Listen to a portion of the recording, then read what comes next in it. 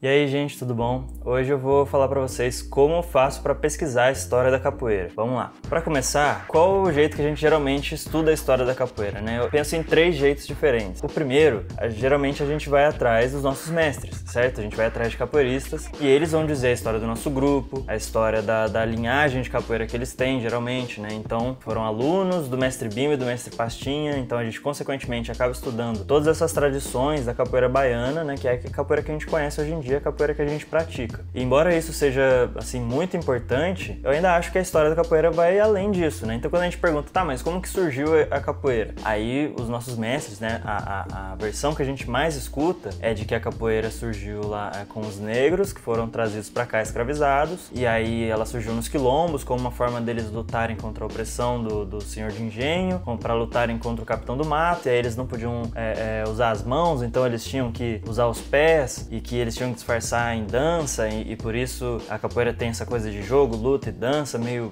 você não sabe o que é, porque às vezes eles tinham que disfarçar e tal. E daí já pula para uma parte que assim, que aí lá em 1890 ela foi proibida, e aí ela foi reprimida, e aí ela só passou a ser aceita, né? Só foi liberada quando o Getúlio Vargas viu a apresentação do mestre Bimba e gostou e liberou. E aí pronto, essa é a história da capoeira. E aí eu tinha uma curiosidade de saber, para além disso, saber de verdade como começou, o que, que os historiadores dizem, né, sobre a capoeira. Se tem algum conteúdo sobre isso e tal, aí eu fui atrás. Assim que eu voltei a, a praticar capoeira, eu decidi estudar um pouco mais a história para conhecer melhor. E aí eu chego no segundo método de estudar a história da capoeira, que é ir atrás de livros, né? Existem já trocentos livros feitos sobre o assunto. Primeiro, o primeiro livro que eu comprei foi esse aqui, Capoeiras Valentões, né, na história de São Paulo, do Pedro Figueiredo Alves da Cunha. Através dele, eu descobri muita história da capoeira além do que eu conhecia, assim. Eu percebi que a história dava para ir mais fundo, sabe? De, de entender mais a prática, da onde ela veio, da onde da África, de quais tradições que ela surgiu. Pelas referências que ele usou, eu descobri que existia o Carlos Eugênio Líbano Soares, né? Que ele tem dois livros principais, né? Que um eu vou deixar aí na tela o nome, foi o primeiro que eu li, e depois descobri que meu mestre tinha esse aqui, que é o A Capoeira Escrava, né? E outras tradições rebeldes no Rio de Janeiro, que fala já da, da capoeira da primeira metade do século XIX. E aí isso aqui explodiu minha cabeça, cara. Porque aí com esse livro eu percebi que existia uma história muito bem documentada da capoeira que não era conhecida, muito conhecida pelos grupos, pelos mestres, pelos praticantes. É, existem notícias de prisão nos jornais, existem os arquivos da polícia, onde, se, onde aparecem a, essas notícias de que o capoeira foi preso, e aí tem lá o registro, o nome dos caras, por que, que ele foi preso, onde ele foi preso. Uma data que eu guardei desse livro é que o primeiro registro de alguém preso por capoeira é de 1789, se eu não me engano. Então dá para assumir que a capoeira surgiu mais ou menos nessa época, nessa segunda metade do século XVIII, e que da ali ela se desenvolveu como uma cultura urbana dos negros escravizados que vinham de tudo quanto é lugar da África. Não todos os lugares, né? Tem regiões específicas que também dá para estudar quais povos que estavam vindo nessa época, quais que estavam participando, quais que estavam sendo presos. Enfim, a história tá toda registrada de alguma forma, assim, são fontes oficiais, né? São fontes do governo e tal, da polícia, que a gente não pode sempre confiar 100% na, no que tá escrito ali, porque eram pessoas que não entendiam o que aqueles negros escravizados estavam de fato fazendo, mas de alguma forma você pode acessar isso, você pode descobrir, desvendar esses mistérios da história da capoeira através desses registros. Qual que é o terceiro método que eu vou falar para vocês nesse vídeo? É de fato você, você mesmo, ir atrás e acessar esses jornais, entendeu? Você mesmo pode entrar num lugar maravilhoso que se chama Hemeroteca Digital Brasileira. É da Biblioteca Nacional e é basicamente assim, é um site onde está digitalizado e você pode pesquisar as coisas por palavra. Então você tem acesso a um amplo acervo de jornais. Um dos que mais tem provavelmente é do Rio de Janeiro, porque no século XIX o, lugar onde tinha a imprensa mais forte era o Rio de Janeiro. O Rio de Janeiro era a capital. Mas se você for atrás e quiser pesquisar sobre outras cidades, com certeza você vai achar lá também. Eu vou mostrar para vocês mais ou menos como é que eu faço, como é que eu comecei a pesquisar isso. Eu já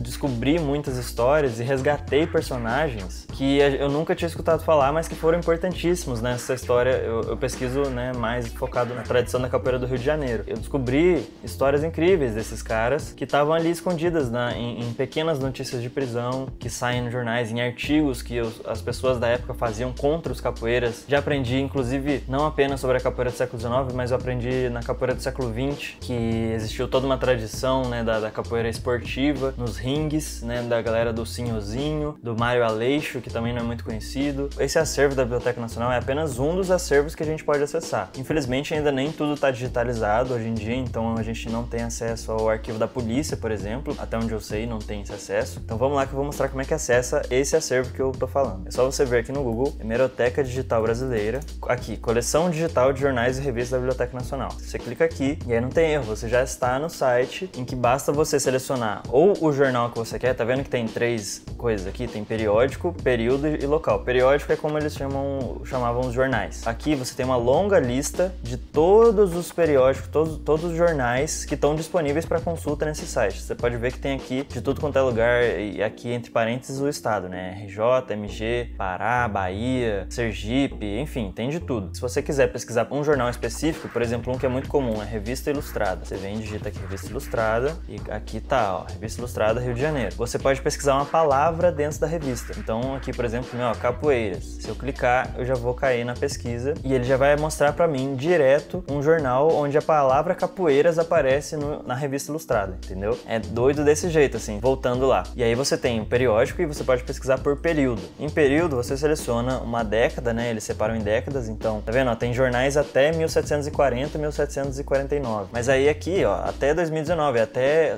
até jornais recentes você pode consultar aqui. Se a gente escolher uma década bem antiga, lá, vamos em 1820, 1829. E aí aqui você pode selecionar o estado, tá vendo? Eu vou deixar todos e vou deixar selecionado todos os jornais. Não vou selecionar nenhum. Vamos colocar capoeira. Vamos ver o que aparece. Pesquisar. Aqui ele me dá uma lista desses jornais que são de 1820. Aqui aparece o nome do jornal, Diário do Rio de Janeiro. Depois é, é, o número de ocorrências, ou seja, quantas vezes essa palavra capoeira aparece nesse jornal. Vamos nesse aqui, Diário Mercantil 1824 e 1827. Aqui um exemplo interessante também. Como é diário mercantil, sempre que é coisa relacionada a negócios, a agronegócio, a agricultura, qualquer nome de jornal que tenha a ver com alguma coisa de comércio, a palavra capoeira geralmente aparece no sentido de matos de capoeira. É, é um termo que a gente sabe, né? Existe a, a, a hipótese de que o nome capoeira tenha surgido desses matos rasteiros, onde os escravizados praticavam um jogo, né? Dançavam, jogavam, lutavam. E desse lugar, lugar, que se chamava capoeira, é que originou o termo da luta. Então, quando você pesquisa em jornais antigos, principalmente, capoeira sempre está associado a esses matos de capoeira, tá vendo? Mas vamos ver um outro. O único problema desse site é que ele é meio lerdo. Mas olha, aqui eu achei uma muito interessante. Nesse jornal, Diário do Rio de Janeiro, tem uma seção que se chama Escravos Fugidos. Em muitos jornais tem isso, tá? Não é só nesse não. Esse aqui é de 1824 e até 1880 e pouco você ainda tá achando esse tipo de seção nos jornais. Que eles colocavam no jornal para ver se alguém encontrava e a, anunciava que tinha uma recompensa para encontrar essa pessoa. Já achei um que é capoeira. Vamos lá ver. Fugiram a Joaquina Antônia, né? A dona dos escravos é essa, dois escravos. Um preto da nação Cabinda, de nome João, muito ladino, terá 26 anos, estatura ordinária, reforçado, cara alegre,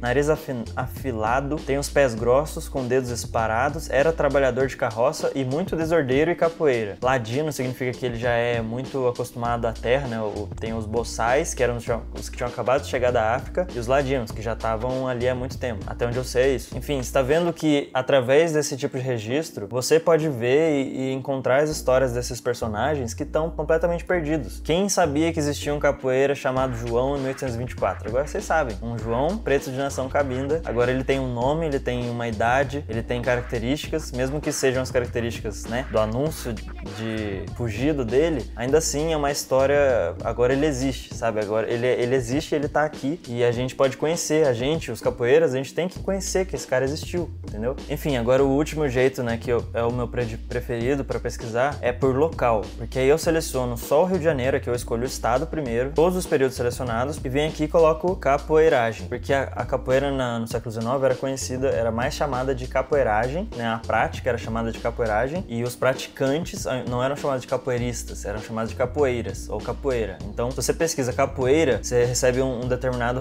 resultado, né? Existem determinadas é, notícias que vão aparecer. Se você pesquisa capoeiras com S, aí já vão aparecer outros resultados, porque já vai ser sempre ou grupos de mais de um, ou gente falando dos capoeiras de uma maneira mais ampla, né? Agora, se você pesquisa capoeiragem, você vai encontrar que a tal pessoa foi presa por capoeiragem, ou que a prática da capoeiragem é uma desgraça, umas coisas assim, sabe? Clico aqui e aí aparece todas as vezes que a capoeiragem apareceu nos jornais do Rio de Janeiro, que são muitos, muitos mesmo. O jornal que mais apareceu e o momento em que essa palavra mais apareceu é de 1880 a 1889 no Jornal do Comércio. Essa palavra aparece 273 vezes. Pra vocês verem quão comum é a capoeira no Rio de Janeiro, quantos registros existem. Aqui dá pra ver em cima ocorrências. São 4.585 ocorrências dessa palavra em jornais do Rio de Janeiro. E é por isso que eu falei que eu gosto de capoeiragem, porque ela aparece muito mais no século XIX e no início do século XX do que no século XXI, por exemplo, no, no, na década de 1950 para cá. É mais de 1950 para trás que aparece essa palavra. Então eu sei que dessas 4.585 ocorrências, boa parte se deu no século XIX e no século XX. Vou clicar em um aqui aleatório, vamos lá, mais antigo. Aqui, Gazeta da Tarde, 1880. Vamos ver o que aparece. Aí, cliquei no Gazeta da Tarde, primeira notícia que aparece é o quê? Aqui você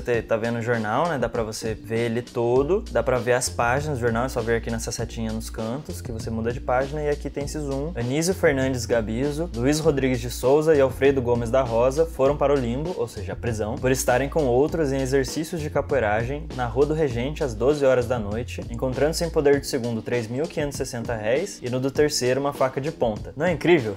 Eu acho muito da hora isso, porque eu cliquei em qualquer um aqui, você vê que existem 4.585 ocorrências dessa, muito parecidas com essa, e boa parte delas é nesse formato, são pequenos trechinhos do jornal onde aparece que esses caras foram presos e você tem informação de qual rua que eles estavam, a hora que eles estavam, às vezes tem alguma informação sobre eles tinham uma faca, uma navalha, um porrete. Através desse tipo de notícia e de tantas outras, você pode descobrir por você mesmo um pouco mais da história da capoeira e saber que isso existe e ler livros a respeito, né? Porque esses pesquisadores se debruçaram sobre isso aqui também. Então eu acho que é um jeito muito legal e muito importante da gente resgatar a história da capoeira, um jeito muito importante da gente pesquisar a história da capoeira. Que nós capoeiristas a gente não fique satisfeito de só saber a história de que ela surgiu lá nos quilombos, que ela foi proibida em 1890 e que depois o Getúlio Vargas liberou, sabe? Esses três pontos-chave da, da história da capoeira são muito pouco. Eu quero saber mais, sabe? Eu quero saber no, no século XIX o que, que aconteceu, de que lugares eram os escravizados que praticavam capoeira, por que, que eles eram presos, onde que eles jogavam, quais maltas que existiam no Rio de Janeiro,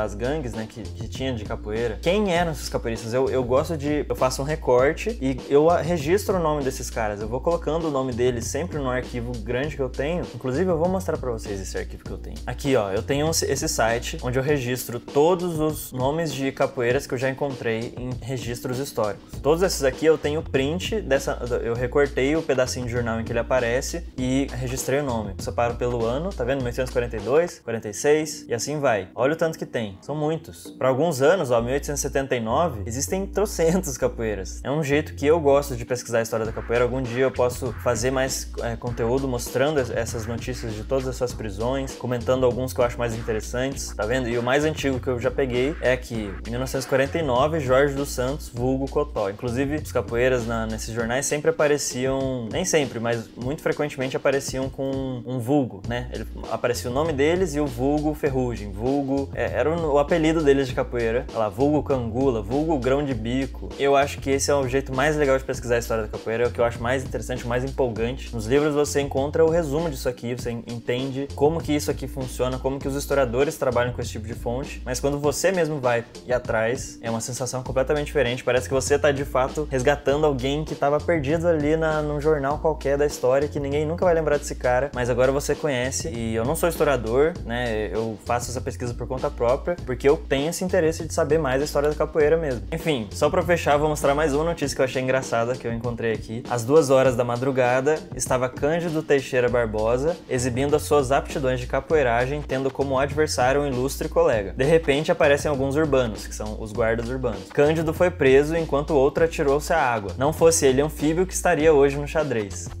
Os jornais sempre fazem essas piadinhas, mas a notícia é séria, né? Os caras estavam lá jogando ou, ou, lutando, a gente não sabe, e aí de repente aparece a polícia, o cara se joga na água e foge nadando e o outro é preso. São muitas histórias que estão aqui guardadas, muita, muito conteúdo valioso, inclusive fazendo um apelo aqui, né? Eu acho que é importantíssimo não só a gente resgatar esse tipo de, de notícia, como a gente criar um acervo. O meu grande sonho é criar um acervo da capoeira na imprensa, onde a gente reúne todos esses prints e essas notícias que eu tô mostrando aqui para vocês, a gente lista todos os, os nomes de capoeiras que aparecem, pra gente deixar de, de ter esse mito de que a capoeira não tem registro, não tem história é, é, nos arquivos, porque eu sei que existe muita história de capoeira, existem personagens e nomes que aparecem sempre aqui, inclusive o, o um que é muito conhecido, Manduca da Praia, aparece aqui, aparece outros que a gente não, eu pelo menos nunca tinha ouvido falar, que é tipo Campanhão, Ferrugem, mulheres também, existem outros registros de capoeiristas mulheres, já vi Maria Estrela, Deolinda, é, é Isabel, vulga nenê. A gente tem que desvendar isso e a gente tem que ter, tinha que ter já há muito tempo esse acervo da capoeira na imprensa. Meu sonho é construir isso e eu vou fazer o que eu puder para ajudar isso a acontecer. Pesquisem a história da capoeira, perguntem para seus mestres, conheçam a história dos seus grupos, leiam livros, tá? Não se esqueçam, leiam livros de capoeira, é muito importante. Eu acho que pegar o trabalho de historiadores sérios sobre o assunto e não ficar só no achismo, no, nos mitos, é, é, um jeito muito importante da gente conhecer a história da capoeira. E pesquisem por conta própria, vão aqui na, no site da Meroteca,